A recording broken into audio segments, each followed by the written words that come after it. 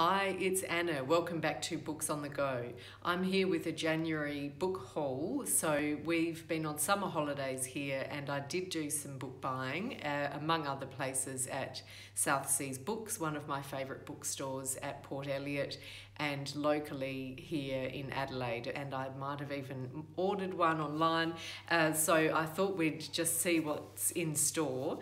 The first one is A Burning by Megha Majumdar, and Megha Majumdar is coming to Adelaide, I think via live stream it might be, um, for Adelaide Writers Week. We're having a mix of live events and live streaming direct to the gardens, the Women's Pioneer Memorial Gardens in Adelaide. So it's very exciting. I think it's one of the first major, if not the first major writers' festivals to be back live and with author events. So that's coming up in a couple of weeks. And so Annie and I thought we'd read some of the books in advance of Adelaide Writers Week to get into the spirit. So this one, A Burning, is set in India. It starts off with an attack on a train and a young woman who is Jivan, one of the main characters writes something on Facebook about the attack, and I think her comment is if the police don't help ordinary people like you and me,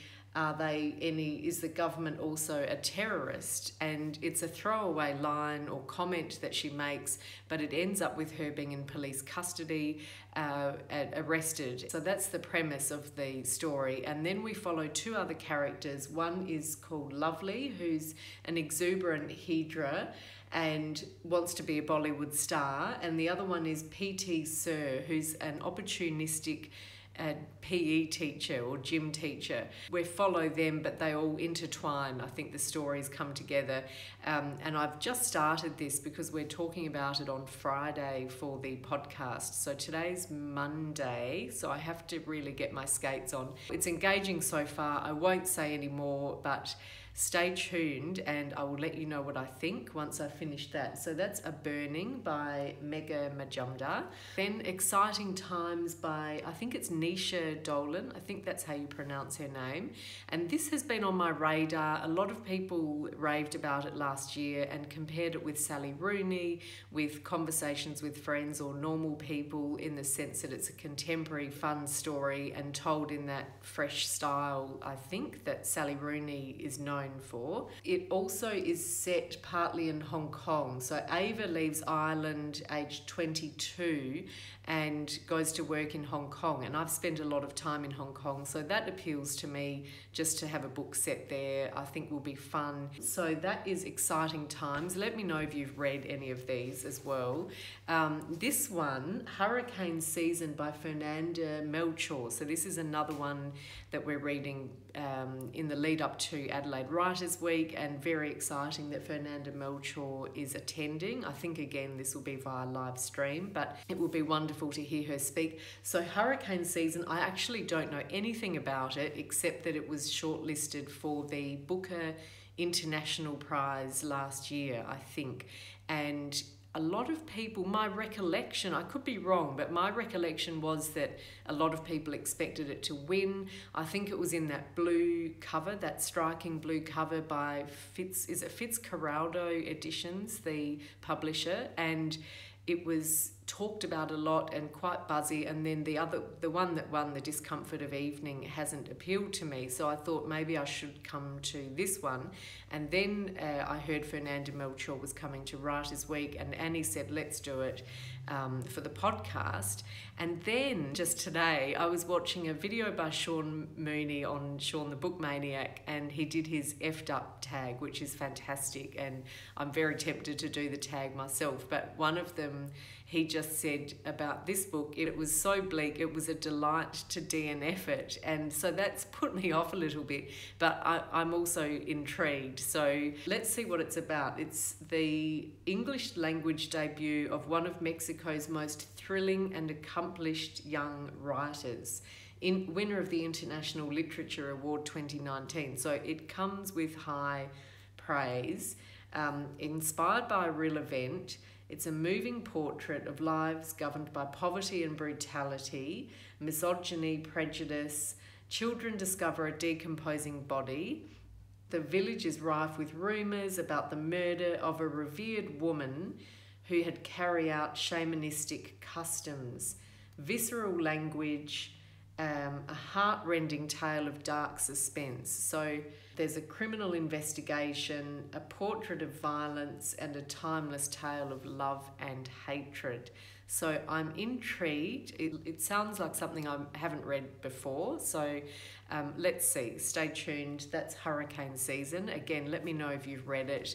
Was it bleak as was it as bleak as Sean said? The next one I bought, which I'd seen, I think Jacqueline at Six Minutes for Me has spoken about, is Growing Up Disabled in Australia.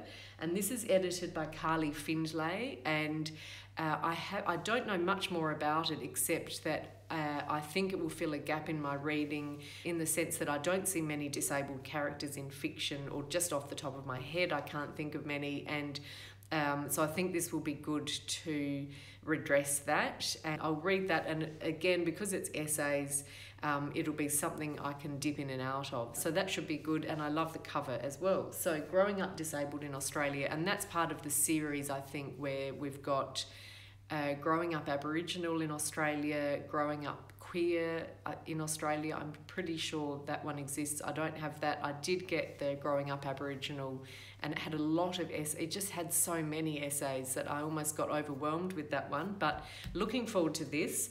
The next one is Open Water by Caleb Azumah Nelson, and Daisy Johnson made me do it because I was looking at Twitter one night and Daisy Johnson had bought or received two books, and this was one of them that she said she was so looking forward to, and I trust her judgment. So it's only a slim book, it's a beautiful hardback edition.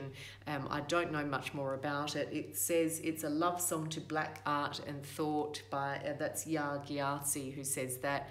It sounds wonderful. So it's two young people who meet at a pub in southeast London. Both are black and British, both won scholarships and struggled to belong. They're artists. He's a photographer, she's a dancer, and tentatively they fall in love, but they can still be torn apart by fear and violence. So this sounds really good. It's been blurbed by some of my favourite authors, including Nikesh Shukla, Diana Evans, Candice Carty Williams. So, looking forward to that one. That's Open Water. Um, and I don't know anyone else who's read it, so again, let me know if you have any thoughts on that one. And then the other one that I bought when I was in the bookshop was The Godmother, a crime novel by Hannah Law Kaye and or Cayre and it is i think translated by stephanie yes it's translated by stephanie smee and this is one of the rare times i've bought a book uh, just on a whim in the sense that I love buying books by whim, but often I have heard of them before I buy them through some channels. And so this one, I've never heard of it before. Really, I just liked the idea of French and crime, and it sounded really intriguing. It won the European Crime Fiction Prize.